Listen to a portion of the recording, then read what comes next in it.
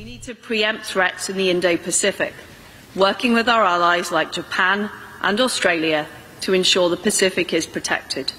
And we must ensure that democracies like Taiwan are able to defend themselves. 那最近呢，就有一个非常有趣的人啊，就是英国的外相，就是英国的外交部长，他竟然说北约要防止中国侵略台湾。英国会神经病突然讲这个话吗？当然不是， 当然是美国跟他谈好了，美国要他出来说。英国脱欧之后，他没有依靠了，他没有欧盟依靠了，所以对英国来讲，美国就更重要，他就更加的成为美国的马仔。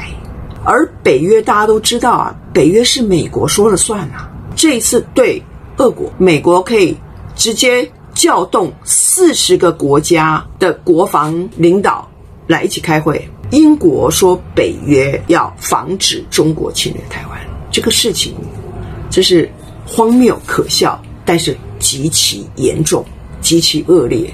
北约是欧洲这些国家在冷战的时候被美国搞起来，要对抗华沙公约的国家。华沙公约就苏联嘛。那苏联解体之后，照理讲，北约也该解散啊。英国的外相很年轻，才四十多岁，而是英国历史上第二位女性的外相。但这都不是重点。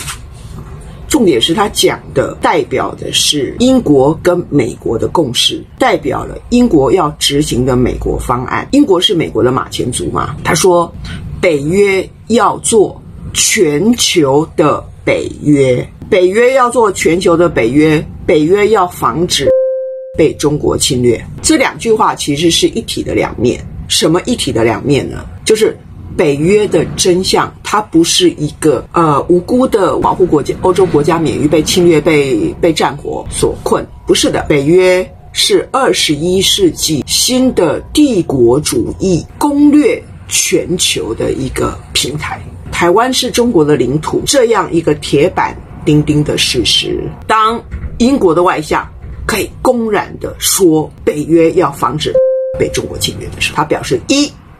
他不承认台湾是中国的领土。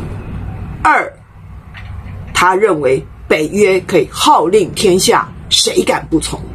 第三，他认为白种人，北约就是白种人啊！你还要再加上美国的北边加拿大，他们所代表的这一个圈子，必须载至全球，必须规定全球的规范。你们所有其他的国家，必须。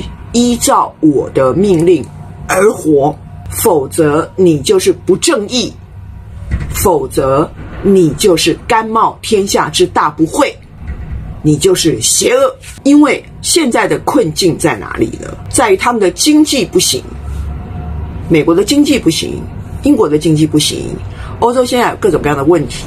但是即使经济不行，仍然有控制、载制全球的能力。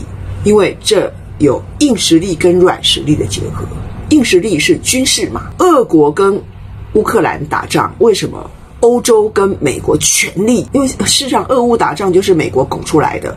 欧洲为什么全力配合？因为欧洲的利益，他们认为跟美国是一致的。我牺牲了老百姓现在的生活，我得到的是我白种人欧洲美国掌控全球的能力。这一点点牺牲算什么呢？